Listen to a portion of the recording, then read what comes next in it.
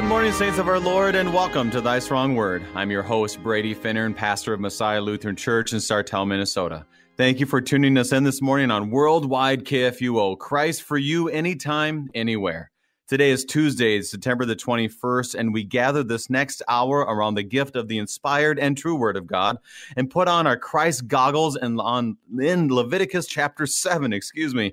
We have been knee deep with offerings, and chapter 7 seems to kind of be a be a, a final wrap up of sorts, last words to make sure that everything has been addressed, that people are clear on how this whole thing works. And to be honest, when we're done with today, I don't know if it'll be more clear, but we do know that we'll be able to be in God's word and to see Christ, for the gifts are ready, ready for you.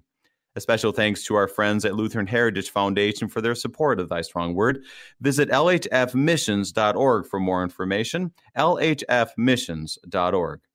To help us be strengthened by God's word, we have the honor of welcoming back Dr. Timothy Saleska, professor of exegetical theology at Concordia Seminary in St. Louis, Missouri. Dr. Saleska, welcome back to Thy Strong Word.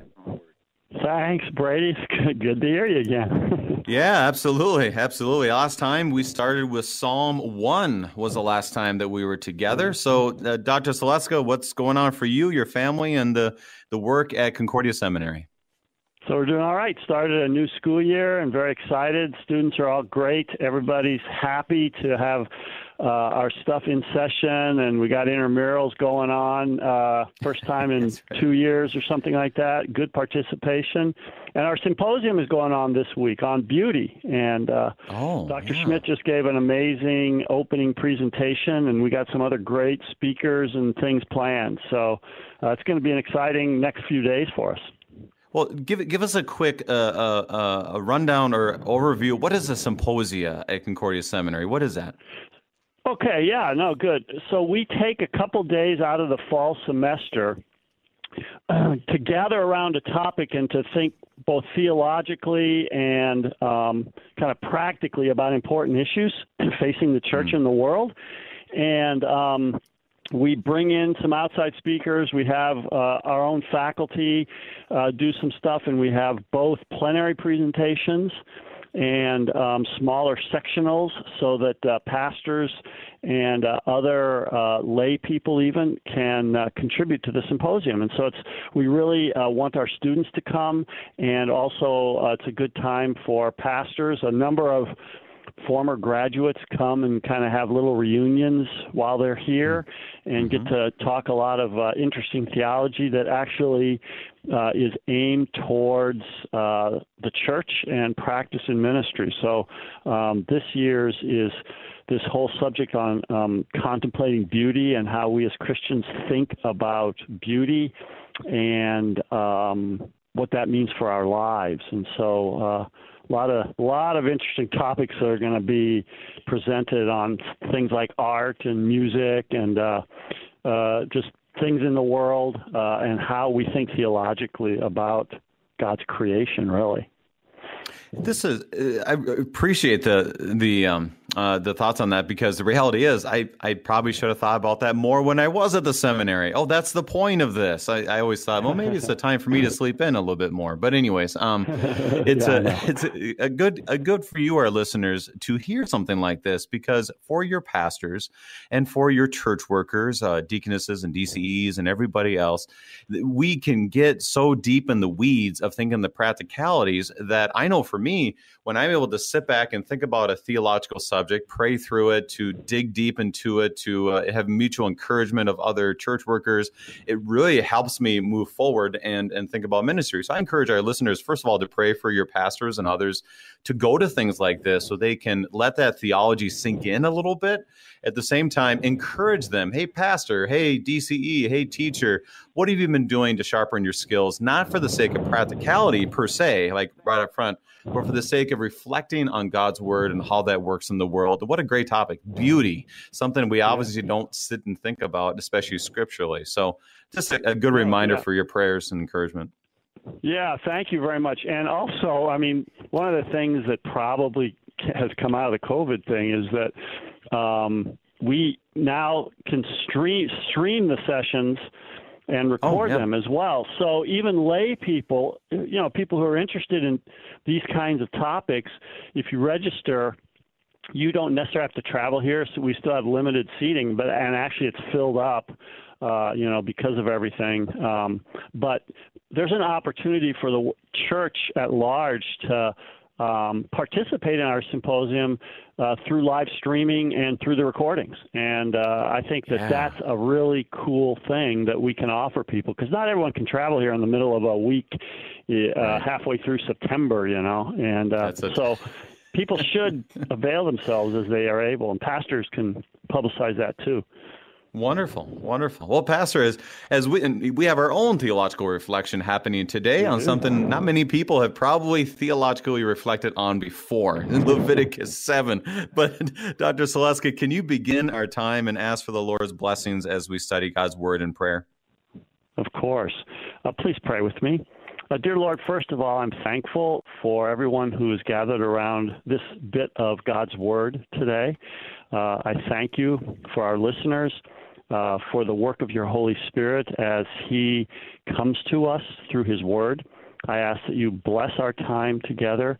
Keep us mindful as we look at this book of Leviticus uh, of the great uh, act of grace that you showed us in your Son, um, who is the uh, once and for all sacrifice for our sins, and uh, through whom we are actually reconciled to the Father. And uh, have the uh, promise that we will live uh, forever with him. I pray these things in your name. Amen.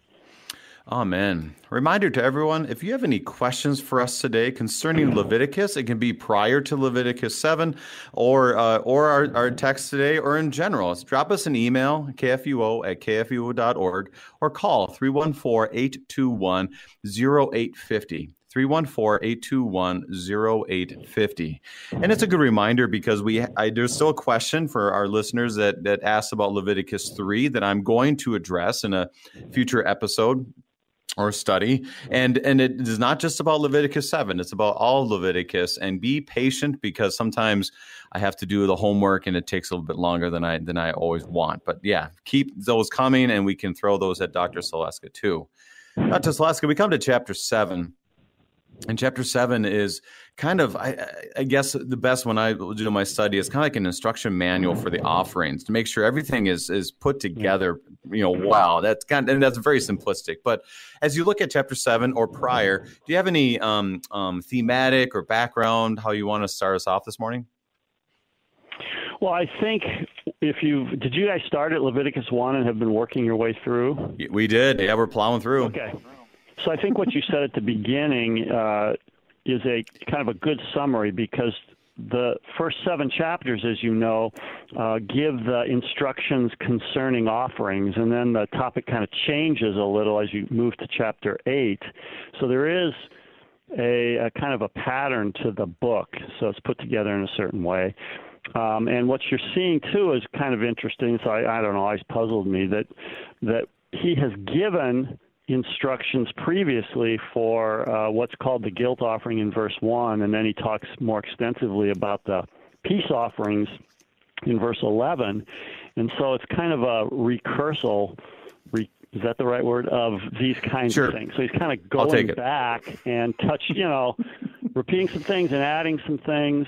And uh, it, again, it's um, not like Western minds, like things, you know, why not just put all the instructions in kind of bullet points once and for all in one place where we can find them on the computer, uh, right. hopefully with a clear tab. Uh, but that's not how Moses kind of operates in Leviticus or even in the other books of the Bible. So there's a kind of a different non-Western mindset in which you go a little with the theme and then go back and touch base with it again, go a little farther, and that's kind of what we're seeing in chapter seven.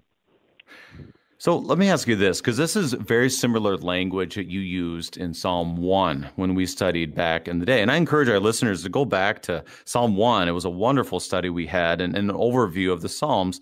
But there's a different mindset when they wrote, you know, the, this literature. Moses had a different mindset. What is, do mm-hmm. you, I mean, I'm putting you on, I'm putting you on, um, I'm, put, I'm putting you to the test here, but is there, do you have like a, a short suggestion of when we read the Old Testament, like Leviticus, it's different mindset. So, do you have an advice for mm-hmm. people when they read this to um, be able to read it and and to not get too frustrated too quickly? Any thoughts? Well, so, yeah, I mean, this happens actually in Paul as well. So, Western minds, True. let's just say outside of the genre of poetry, we are used to kind of straight line reasoning so that you have kind of a thesis or something put forward and then you have a developing argument and so that um, you know in a coherent sermon you, you should know what question you're trying to answer what problem you're trying to solve and then you discuss it and we can follow that very easily until you reach a conclusion right that's kind of mm-hmm. how we mm-hmm. think but um, not people that are not schooled like that in, in non-Western cultures, even today, the the logic becomes much more circular and repetitive. And so, if you're looking for a developing argument, um, it can get frustrating. And so, sometimes they'll it'll be that, you know, but usually that's over shorter parts of the text. I mean, when you get to the book of Deuteronomy, you see the same thing. These are sermons, but they don't uh, logically go. And it's the same thing when you read the prophets. Um, you know, if you, it's much easier if you think of the prophets as a group of sermons or collected sermons that may be loosely connected. All right, so you have to hang looser on that, but not try to make a developing argument. We had a great discussion of that. I don't know if the readers are interested in this, but in our Bible class on Sunday, we were looking at the end of Galatians. And um, so uh, what happens there um, is that Paul gives a bunch of maxims, all right, um, about bearing one another's burdens. And we kept, mm-hmm. people kept trying to figure out how those verses are related to each other because they're not. And you're working really hard until I said, you know, they're kind of like each verse is more like a proverb than he's not trying to develop an argument. He's giving you different maxims. And so as soon as they saw that, everything kind of fell into place. It was kind of interesting. And so that's what happens in a book like Leviticus, and that's probably the best advice I can I can give. Um, be ready to think more circular and repetitive. Um, mm-hmm. It's a very interesting. I can give you a little story here. I was teaching Deuteronomy to grads, and one of my students had just returned from Cote d'Ivoire as a missionary, been translating stuff. And we were talking about how Deuteronomy does this and how, you know, even a book like Leviticus does this. And we, we were puzzled by it until he raised his hand and said, It's funny you say that because when I was translating material in Cote d'Ivoire, uh, I would say to the guy helping me translate, this makes no sense at all. It's repetitive. It doesn't seem to go anywhere. And the guy looked at him and said, What do you mean? It makes perfect sense to me. And so a light went on in our oh. class that see they're kind of thinking very differently about these things. And that that story's always stayed with me and proved helpful. We shouldn't try to fit the different genre of the scripture into kind of a western synthesis, developing the argument kind of thing. That That'd is very helpful. Advice. That is very helpful, Dr. Saleska. I really appreciate that. And then the, one of the beauties that we have when we look at this is that we are able to admit that this is this is hard. This is hard. Yeah. Um, yeah. But it also is still God's word, and the Holy Spirit works through it. So we can be patient because we know the end of the story and we know our end of the story. So just enjoy it, as uh, I say all the time in this program, mm-hmm. and I know this happens everywhere because it's all gift. So let's enjoy the gift as we dig in. Yep. So, anything else before we begin, Pastor or Doctor Saleska? Uh, I don't think so. I think that's good. Yeah. All right. Dive in if you want. Let's let's dig in. Verses one through ten. Reminder to our listeners: we are reading from the English Standard Version of Leviticus chapter seven, verses one through ten. This is the law of the guilt offering. It is most holy. In the place where they kill the burnt offering, that they shall kill the guilt offering, and its blood shall be thrown against the sides of the altar. And all its fat shall be offered the fat tail, the fat that covers the entrails, the two kidneys with the fat that is on them at the loins, and the long lobe of the liver that he shall remove with the kidneys. The priest shall burn them on the altar as a food offering to the Lord. It is a guilt offering. Every male among the priests may eat of it. It shall be eaten in a holy place. It is most holy. The guilt offering is just like the sin offering. There is one law for them. The priest who makes atonement with it shall have it. And the priest who offers any man's burnt offering shall have for himself the skin of the burnt offering that he has offered. And every grain offering baked in the oven, and all that is prepared on a pan or a griddle, shall belong to the priest who offers it and every grain offering mixed with oil or dry shall be shared equally among all the sons of Aaron. So there's there's a lot of information there. How would you how would you break this down as we maybe get confused right away? Oh, okay, very good.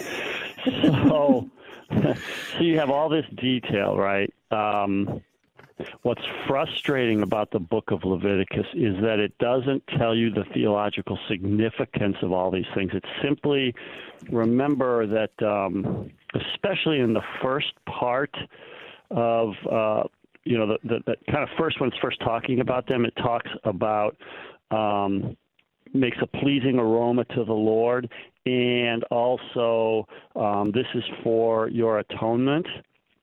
Uh, notice in like chapter 1, verse 4, it shall be accepted for him to make atonement for him. Um, so you have all this ritual that you don't understand, okay, why are they doing it? And Moses never really tells us. So we're going to fr- be frustrated or we're going to be speculative or kind of arbitrary if you try to start assigning significance to every little detail. I think what's important is that we shift our perspective on all of these sacrifices from thinking of them as sacrifices to thinking of them as sacraments. And that's a basic shift that we are not used to making when we're talking about the book of Leviticus. So that we think more in terms of law with these sacrifices than gospel. In other words, oh man, we have to do all these things, we have to get it right, and somehow on the basis of what is done, God forgives our sins, and it becomes kind of a law oriented practice. And all ritual can do that, right? If we do our worship right, if we get this right, somehow that's more pleasing than if we don't. And we forget that the sacrifices are sacraments. In other words, um, they are visible signs connected with God's promise. Hmm. So right away at the beginning of Leviticus, he it's his word that says these are going to make atonement for you. Not because of any special manipulation of the meat and the way you cut it and how you offer it. You see, um, those are the things that provide the order and structure around which people can gather. Um, but finally, it's God's word that tells them, hey, um, these forgive sins because I say they forgive. They're, they're promise. All right. It's the same way with Holy Communion. I mean, it's bread and wine, but it's connected with God's word. And so it's that that makes it a sacrament. Um, otherwise, it's just ordinary bread and wine, just like it's an ordinary lamb or an ordinary bull or whatever you're sacrificing. And so I think that it's helpful if we're studying the book of Leviticus for readers to also read the book of Hebrews. And specifically for this first part of Leviticus, Hebrews 8 through 10, which talks about uh, the relationship between Jesus and the sacrifice that he made and uh, the Old Testament sacrifices. Um, I think that that's kind of very helpful um, in that you see how the New Testament reads the significance of these sacrifices as foretastes or foreshadowings of uh, the one who made the uh, complete sacrifice and total sacrifice uh, for our sins. And again, that's because God declared, hey, this is my son. This is the one I'm pleased in. And he's the one who declares um, that uh, your sins are forgiven. You are, he declares us just. He declares us righteous for Christ's sake, in the Word made flesh, so to speak. Right. How could you not see Christ as you speak about all these sacrifices and offerings, which really points us to language that that's very helpful because I do get lost in the weeds. I, I, well, I feel like I'm I'm I fell in the weeds as I've gone through Leviticus in many ways because you're trying to keep it straight. Okay, what's up with the guilt offering? Okay, this is uh, there's food for the priest. Okay, all right, the meat. Okay, that goes to this priest. And that goes here, and it's been wonderful to dig deep into that. But also, chapter seven is the perfect time for us to stop, think through what this is. And I love verse one. Mm-hmm. It is the most is most holy and mm-hmm. really, our theme, um, trying to look at this, came from Dr. John Kleinig that really talked about this is really about God's holiness coming to God's people. Um, mm-hmm. And so, be holy as, as the Lord is holy, and that's what you you're you're pointing us to that once again. And I, you know, I didn't think about that today. Is that reality of these sacrifices were something to follow, but also it showed the holiness that comes to them in a sacramental way which is right. a great connection that we often would never make. So, any any details or anything you want to highlight in those ten verses? In those ten verses, it's just that um, uh, notice that uh, no one kind of knows exactly the connection between guilt offering and the um, whole burnt offering, uh, as it mentioned. You know the yeah um, the laws, the instructions are the same. Uh, I mean, people have made guesses, but um, again, we don't have to kind of worry so much about that because when we ask what is what does Leviticus have to do with us Christians, uh, the way the way we strive for relevance or see relevance in them is in the light of Jesus and the one who has uh, declared us to be righteous. And those kinds of connections are one of the ways we start to see here what's relevant to us and what's not, which is why we don't continue to offer bulls and lambs on an altar and make sure we're following all the priests because our authority now is not Moses but Jesus, as Luther kind of makes clear. And also, I think there's a great connection in verse six when you talked about the sacramental realm or a sacrament, the body and blood, is that they had to eat it in a holy place. And yeah. I, I, think there's just a connection to that as well of of when we go to the holy place, which is where the holy things are in worship or the Word of God. That that's where we that's where we eat and drink with with God's people. So it, there's it's wonderful bringing me back. You brought me back today because I got lost in the weeds. I'm like, oh, I wonder what he's going to say about this and, and the details, and he brings us back to the main point. So, anything else in verse ten verses? No, I I think that that's important. Um, that uh, you know there were these spheres of holiness, starting with uh, most holy place, and then the holy place, and then you know the um, courtyard, and so forth, until until if you, uh, as you'll see later in the book of Leviticus, if you had leprosy or some skin disease, you were actually exiled from camp, uh, considered unclean, and only to be admitted back in. And so there is this sense of I mean, the reality is God was actually present in the tabernacle, right mm-hmm. above the mercy seat. It wasn't just he. It wasn't just a sign of God's presence. He was really there, and so it was there that you went. And and you had this beautiful you have this beautiful picture of God has put His name there, and so in a sense reveals Himself there, and yet He's hidden, right? He's deeply hidden behind the curtain. You can't go back there without the atoning sacrifices and that kind of thing. And so there is this idea of being in God's presence, a uh, very real reality. I don't want to just say it's an idea or a concept. It's a reality when you went to the tabernacle or later the temple to worship. And how do you know that this God who is most holy is not going to strike you dead, you know? Um, because of your sin and because of your wickedness, while the sacrifices assured them that um, he was for them, that he had forgiven them, that he had reconciled them. And what happened in Israel, as happens for us as well, is they think that just by virtue of offering those sacrifices, God is somehow pleased with that and they could live however they wanted. Remember, the prophets inveigh against that. I don't need your sacrifices. They weren't done. You remember the prophets say over and over, God doesn't need them. Um, and that's what makes Israel's sacrifices very different from the ancient Near East, in which you had to feed the gods or you're trying to manipulate the will of God.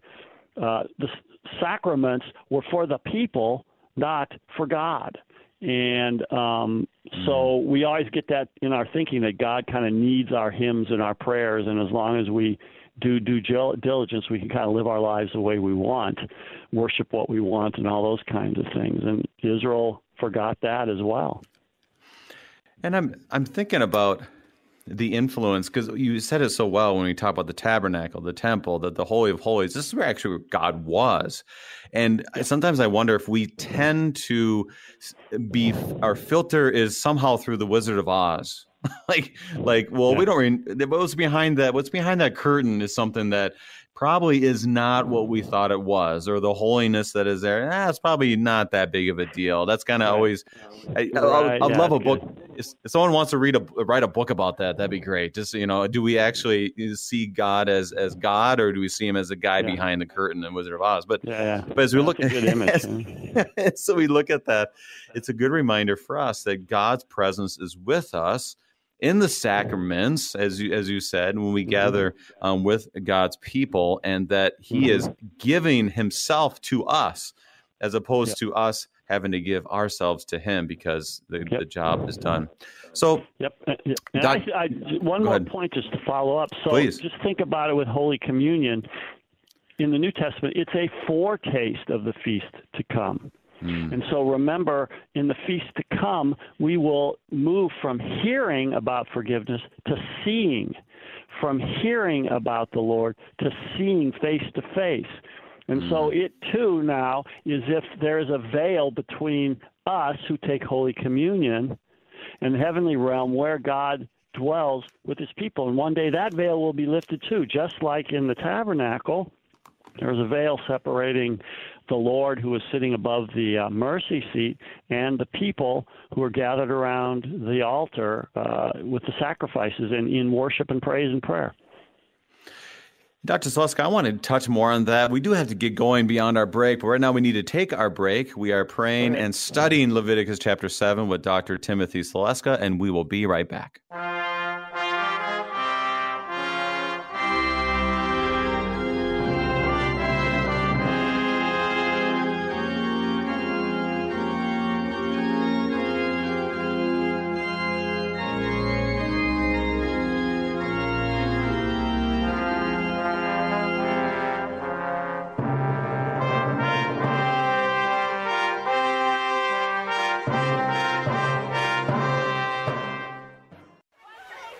On your mark, get set.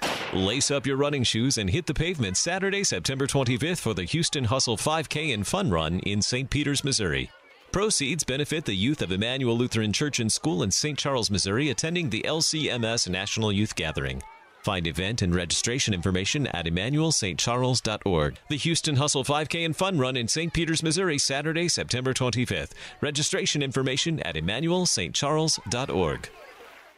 Did you know that your individual retirement account may make the best gift to KFUO? The IRS now allows individuals 70 and a half or older to transfer their required minimum distribution directly to charity and avoid paying the associated income tax. These gifts can provide regular long term resources to KFUO. If you have questions about making an IRA gift to KFUO, call me, Mary, at 314 996 1518 We'll send a representative out to help answer your questions and help you establish a legacy of giving to your favorite radio station, Worldwide KFUO. Life can be dramatic, but day to day relationships aren't always like you see on TV. You can help the young people in your life work through the drama by engaging them in conversations about healthy relationships. Use Connect with Me activity cards to start discussions on this subject and other topics that matter to teens. Visit health.mo.gov/connect to access these free cards and resources. A message from the Missouri Department of Health and Senior Services.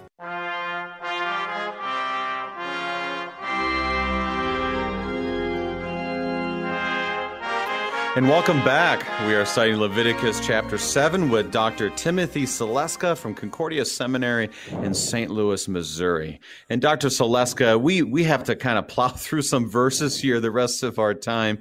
But as we as we look, so far we've gone through the guilt offering and we'll move forward to the peace offering. But I do want to ask this because uh, I want to make sure that we're on the same page. Is there anything else you want to highlight in the first 10 verses? Um, I think we can move on. I think that's about it. But if you have a question or something, I'm happy to try to answer it. I do not, and we've not received a phone call yet. So let's keep moving right. forward then. We'll go 11 through 18 as we hear of the peace offerings. And this is the law of the sacrifice of peace offerings that one may offer to the Lord. If he offers it for a thanksgiving, then he shall offer with the thanksgiving sacrifice unleavened loaves mixed with oil unleavened wafers smeared with oil, and loaves of fine flour well mixed with oil. With the sacrifice of his peace offerings for thanksgiving, he shall bring his offering with loaves or of leavened bread. And from it he shall offer one loaf from each offering as a gift to the Lord. It shall belong to the priest who throws the blood of the peace offerings and the flesh of the sacrifice of his peace offerings for thanksgiving shall be eaten on the day of his offering. He shall not leave any of it until the morning. But if the sacrifice of his offering is a vow offering or a freewill offering, it shall be eaten on the day that he offers his sacrifice, and on the next day what remains of it shall be eaten. But what remains of the flesh of the sacrifice on the third day shall be burned up with fire. If any of the flesh of the sacrifice of his peace offering is eaten on the third day, he who offers it shall not be accepted, neither shall it be credited to him. It is tainted, and he who eats of it shall bear his iniquity. So we we see some law and we see some consequences. So what's happening here? Yeah. Well, first of all, this is my favorite sacrifice. Um, oh, right. The uh, Zevach Shalamim is the Hebrew word. Yeah, okay, thanks. Uh, only I could say something like that, right? That's right. So, uh, yeah, so it's you know it's translated as uh, peace offerings. Um, sometimes fellowship offerings, but mm-hmm. I said the Hebrew hashalamim shalom. The Hebrew word shalom comes from that, which again has the sense of well-being or um, uh, when things are are whole, there's kind of a you know it's a very positive where when things are whole and as they should be, uh, there's shalom, you know, and uh, this is the most. You, you can see that this one is the most quote sacramental of the sacrifices, in that it's the only sacrifice that the congregation is allowed to partake of and eat in with. And notice that uh, hmm. you can do it. I mean, you so you offer it uh, as Thanksgiving. So notice that there's a sort of freedom there. You come in thanks to God for maybe the crops that He's given you, or the child that He's given you, or just because you're thankful for the life He's given you. And uh, you can also come, um, notice that it says in verse 16, uh, a vow. You know, so example is that uh, you've taken a vow for a certain period of time, and now you come uh, and offer that offering, or um, he's God has rescued you from trouble, and you know you've said, you know, if you rescue me, um, I promise to serve you and worship you, and you come for that reason. Or then it just says free will offering freely. You see, so and and because the people eat it and they have to eat it in the presence of the Lord in the temple or tabernacle, you get a real picture of uh, Holy Communion. And in fact, it's an interesting Jewish tradition. I don't know if you're interested or not, but mm-hmm. I ran across this that um, in the Messianic age, this will be the only sacrifice that remains, which is kind of interesting because it points us to that New Testament picture of the eschaton, the New Age, as this big feast. And of course, right. we have prophetic pictures of that as well. And so, just if you can just uh, put our imagine these sacrifices were done with family and friends in a mood of all, notice they're always in the mood of joy and celebration that these sacrifices would take place in all right and so um uh, I, I I love that aspect of kind of these offerings in particular um, when you think about their significance. Uh, again, I should not tell you just to reinforce for people this sacramental thing. Notice that um, when we celebrate Holy Communion, we call it God's action to us. That's the main mm-hmm. direction. But there are also we also call them Eucharist. Uh, it's it's a Thanksgiving, right? And so we mm-hmm. also come. We do certain we do certain things, sacrificial things, right? We come with repentant and thankful hearts. We gather at the table. Uh, we follow the particular order of the church. We uh, receive the elements, those kinds of things. But the sacramental aspect dominates. So, too, in these sacrifices, there are certain things that we do. So, the priest prepares the sacrifices the certain way. There's a certain time you can eat them and not eat them. You come with thankful hearts, and then you receive God's blessing. See, so there yeah. are there are those parallels. It's very helpful for me to stop thinking of sacrifices as this dreary duty, uh, but a celebration. So in the big feast days, people come up to Jerusalem and they sacrifice all the time. See, and it's a great joy uh, for them to be able to do that. And one of the that that's a great. I mean, at first you're like, "This is your favorite offering." I mean, come on now, what's going on? You know, how's this happening? But when you explain it that way, one, uh, we talked about this when we covered the peace offerings. Is uh, the, there's a reality for each and every one of us on this side of eternity that we want peace and we want peace for the world. You can go that big, but just we want peace when our families get together. We want peace when we go mm-hmm. home. We want peace with our yeah. children, with our spouse, with our Nate. We want peace. That's and that's why it's so powerful. Exactly what you just said is that this is exactly what is is brought in Thanksgiving, in the eating with the Lord that connects us to the Lord's Supper. And I was thinking about this too, that when we, when you when we get together, we're not always the best at describing the joy of like say for example thanksgiving. We're like oh what do you like about thanksgiving? Oh i love the turkey. Well part of it is you like that but you you love the people you're around. I mean it's just yeah, yeah, such joy. Yeah. it's such joy to be in that kind of presence. And then to think about that that the lord invited them to the table then and he will invite us to the table and in the eschaton as you said so beautifully. Um any yeah, other thoughts? See, that's why. I, yeah, that's why I think they bring loaves of bread too. They get to eat yeah. bread with the sacrifice. See, so it's this kind of fullness, um, and uh, so it's a great picture of the oh, foretaste oh, of the feast. Yep. Now, I think there'll be one part of this. If I could ask you this, at the very end, all of a sudden, I mean, I'm feeling, I'm feeling warm and fuzzies here that you've given me, no, and then in 17 and 18, it's kind of like but if you, you know, if you eat this uh, on the wrong time, um, you are basically dead to me. You are unclean. So, any, how would you address that with somebody? You're like, this is great, and all of a sudden, boom, boom, boom, you ate it the wrong time, wrong day, boom, you're unclean, and you have iniquity on your hands. Any thoughts on on the transition there in the last two verses? Yeah, it's so jarring to us. Uh, again, I think that um, one of the things that when I see that, it just reminds me of this joy, but it's not giddiness or frivolity. It's a joy that is kind of deep down, uh, being able to to sit in the presence of the Almighty God and be accepted by Him. Uh, mm. He doesn't. So so it's like better have your heart and mind ready to go with that as well. So there's kind of that that aspect as well. I mean, it entails um, proper preparation, right?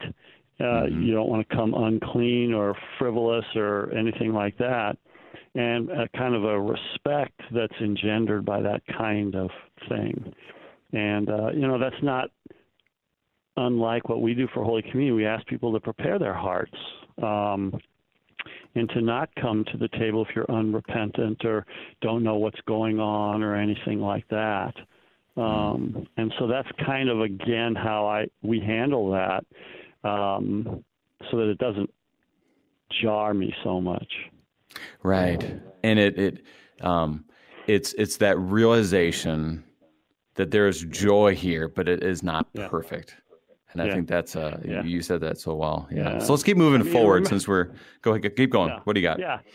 All right. Well, just one more thing. Remember when Jesus had that parable about the feast and no one wanted to come, and God, Jesus says, "Go right. on the streets, invites everyone." He invites everyone. Someone comes in with dirty clothes. Says, "What are you doing here?" It's like, where where did that come from? uh, it's the same so kind of thing.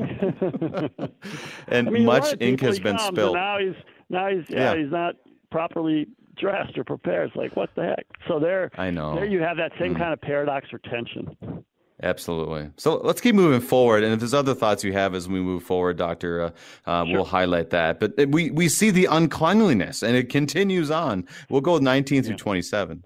Flesh that touches any unclean thing shall not be eaten, it shall be burned up with fire. All who are clean may eat flesh, but the person who eats the flesh of the sacrifice of the Lord's peace offerings while an uncleanness is on him, that person shall be cut off from his people.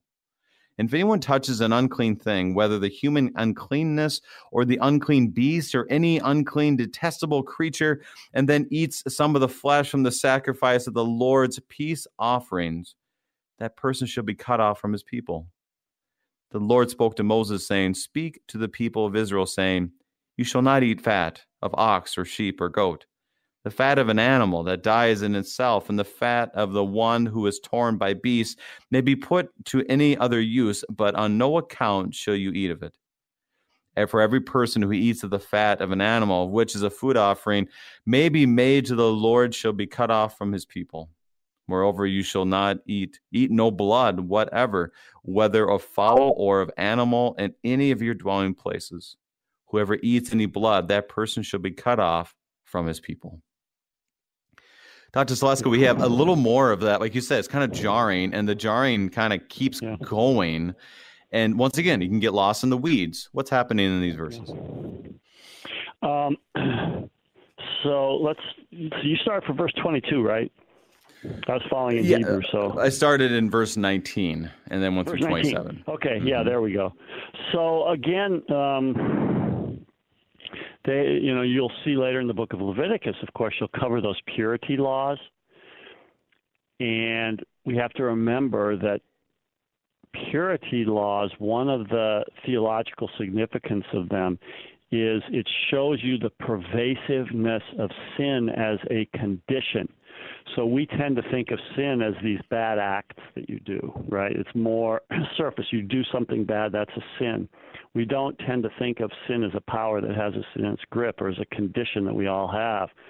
And so the purity laws remind you that sin has uh, made all of us unclean, not just in our hearts or minds, but it, it extends to the physical realm as well. And so um, when the when you were unclean, you couldn't approach God because the sinful person cannot approach God um, the only way that the unclean can become clean is to be pronounced clean by the priest to do the the rituals and sacrifices so that you can approach God. Otherwise, you're going to be banished from the camp. And so, again, the seriousness of sin is not overlooked in those purity laws, um, which is why, again, when Jesus came, notice what he did in the Old Testament, if you touch something unclean, you become unclean. Jesus reversed that, and he touched unclean people. Uh, he went into unclean places, and he made the unclean clean. You know, he has the power over that, and that's why Hebrews talks in such great at such great lengths about we don't have to do any of these things anymore to approach God uh, because of what our Lord has done for us. And the, uh, our being uh, sanctified and justified by God's grace in Jesus is thorough.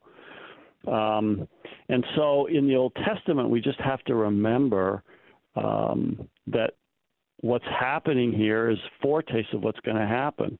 But before Jesus came, year after year, time after time, day after day, sacrifices had to be offered. If you were unclean, you were in a state of separation from God. It was a visible reminder um, of what sin does. And but again, in Israel there was this means for cleansing, for forgiveness. And it was through the mediation of the priest and the pronounced word and the um, sacrifices and those kinds of things. So that's what, again, I'm seeing here um, with uh, being unclean.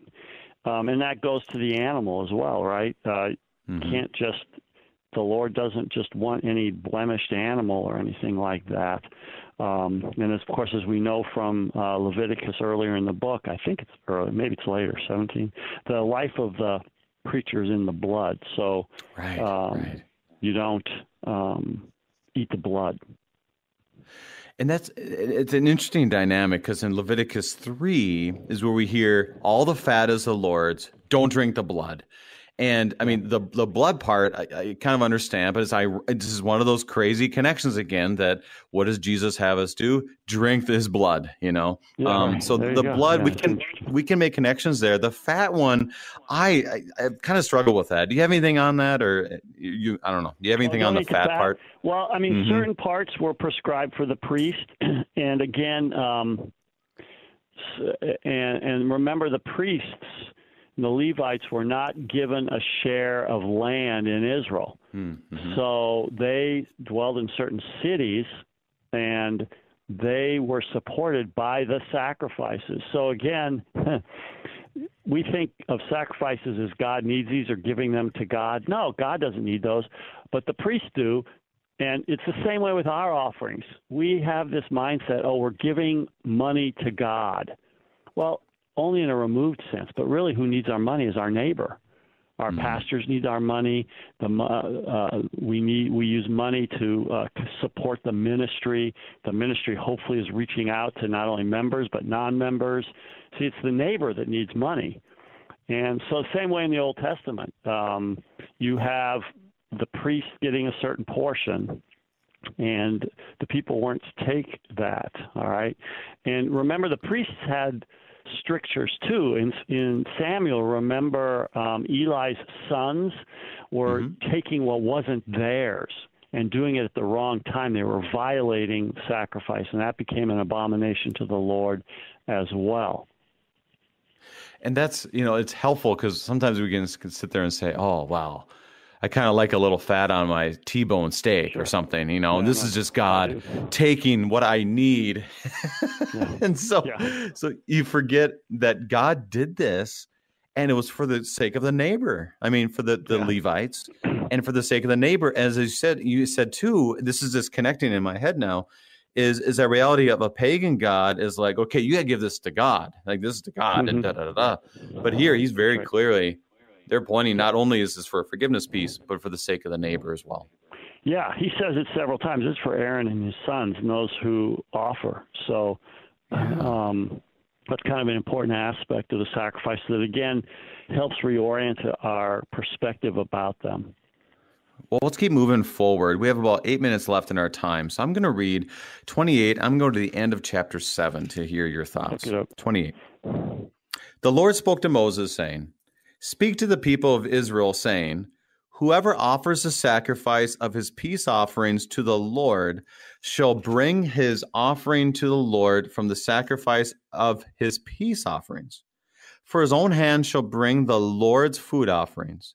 He shall bring the fat with the breast, that the breast may be waved as a wave offering before the Lord. The priest shall burn the fat on the altar, but the breast shall be for Aaron and his sons. And the right thigh you shall give to the priest as a contribution from the sacrifice of your peace offerings. Whoever among the sons of Aaron offers the blood of the peace offerings and the fat shall have the right thigh for a portion. For the breast that is waved and the thigh that is contributed, I have taken from the people of Israel out of the sacrifices of their peace offerings, and have given them to Aaron and the priest and to his sons as a perpetual due from the people of Israel. This is a portion of Aaron and of his sons from the Lord's food offerings, from the day they were presented to serve as priests of the Lord. The Lord commanded this to be given them by the people of Israel. From the day that he anointed them, it is a perpetual is a perpetual due throughout their generations. This is the law of the burnt offering, of the grain offering, the sin offering, guilt offering and the ordination offering and of the peace offering, which the Lord commanded Moses on Mount Sinai on the day he commanded the people of Israel to bring their offerings to the Lord in the wilderness of Sinai. So we, what I do want us to address this. I want to start with a wave offering. I mean, that one just kind of what, what's going on now. We're waving things. So so, so there's there's a lot of things. So what's happening here? Okay, so first of all, um, let me look at that. I need to get that verse again, 30. So there's the two words there. Um, let me see here. I think it's teruma. I just want to be sure. Oh, uh, yeah, it's a tenufa. So you have this wave offering and the uh, teruma. So both in in ESV teruma, when you saw the word contribution, it's the contribution, and nuf mm-hmm. uh, is sometimes translated as wave offering, but again, what those words mean and what actions they entail, you're not quite sure of. So some people think it, it means that you're not actually waving it, but holding it out or something like that.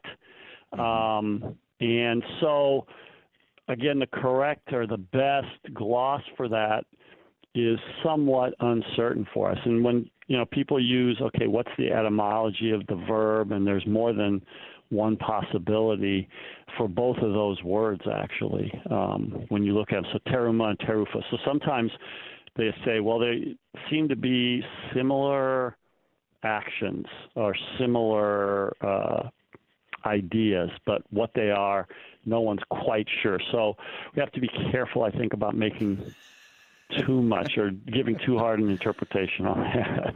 Because we well, it's just interesting that he has a breast and then he's waving it around and you're like what's yeah. happening and obviously yeah. we can cut in those weeds and we and like I said it we just simply don't know but we do know it's an offering to the lord so anything else in these verses um, again, you can see the emphasis toward the end of the chapter on Aaron and the sons and providing for them, and yeah. mm. so um, the so we have you have to think of the sacrifices both on a vertical level and horizontal level as well. Um, and um, you know, when we think of congregation who gathers around God's promises, if we think solely vertically, then we're not taking care of our neighbors. And if we think solely of our neighbors, then we forget the reason we're gathered together and serve each other and do all the things we do as God's people in the first place. So there's that kind of balance that I think we can at least use this passage to reflect on in our own lives.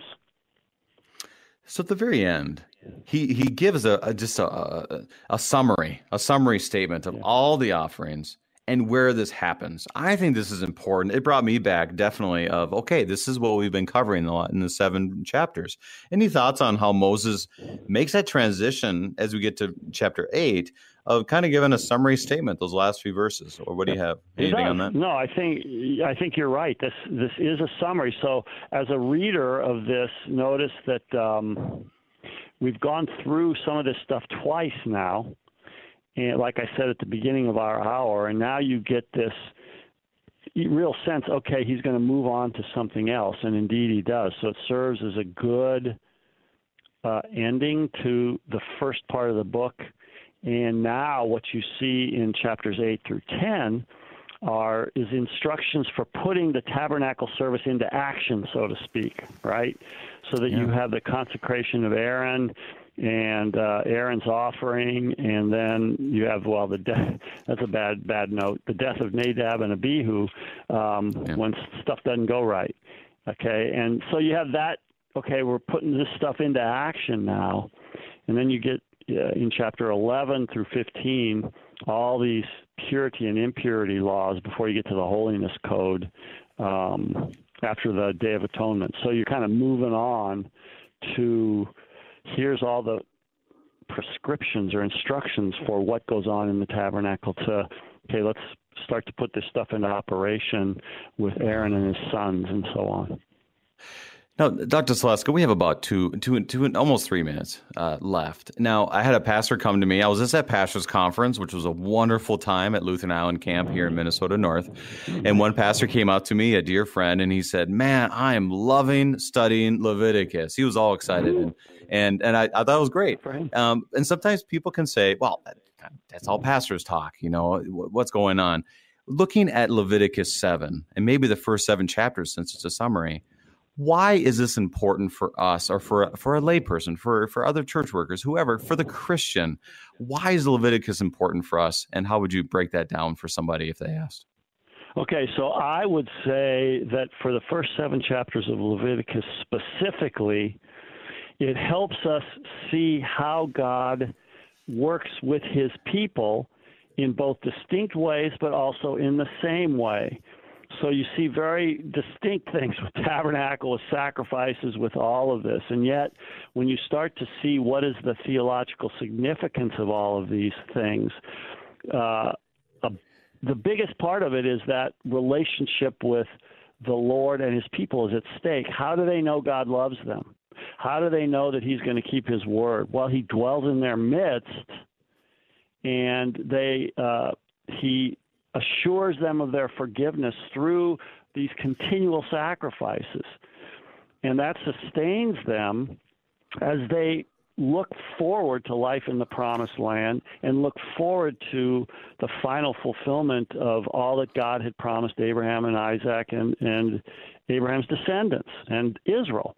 Um, and so Leviticus is this rest point, right? The, Israel is not on the move until halfway through the book of Numbers, and um, getting how do we live as God's people, as sinful people.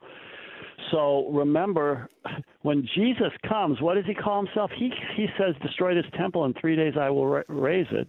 Or the Word became flesh and made His tent among us. So he tells us, "Oh, he's."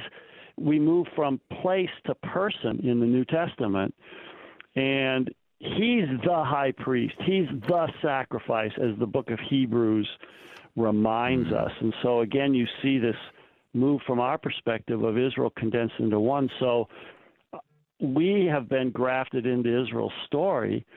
And in that sense, then, um, it's uh, our Lord Jesus who has uh, brought us in to uh, be people of the promise. And as we then worship Him, we gather around His Word and sacraments and the promises as we wait for Him to do what He promised to do. And so, in that sense, modern people are in kind of the same position as Israel. How do we live as God's people? How do we know God loves us? How do we know He's going to keep His promises? How do we know He hasn't forsaken us? We have His promises in the gospel, we have them as He gives them in Holy Communion baptism and in absolution and in our uh, conversations with each other. And so did the Old Testament people.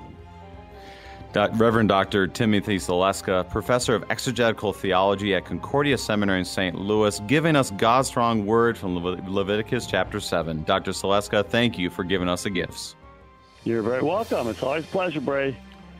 Saints of our Lord is God who is not behind a curtain like the Wizard of Oz. He is a loving God who wants to make sure our relationship is secure and we know it is through Christ. How do we know God loves us?